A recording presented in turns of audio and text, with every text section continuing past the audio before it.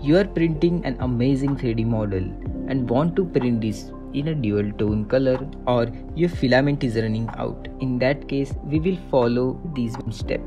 So while printing, go to the paper menu again and find the change filament option and select it so that it comes out of the nozzle. Wait for the printer to finish its movement and parks. Make sure your next filament is ready.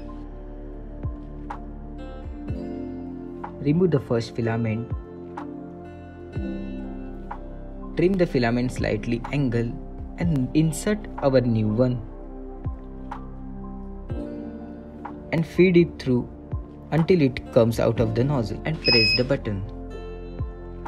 Now the filament is extruding. Make sure the previous filament color completely comes out and new filament color is coming. Tip Clean the nozzle with the help of the plier before resume print so that the filament spaghetti doesn't ruin your print. Click on resume print.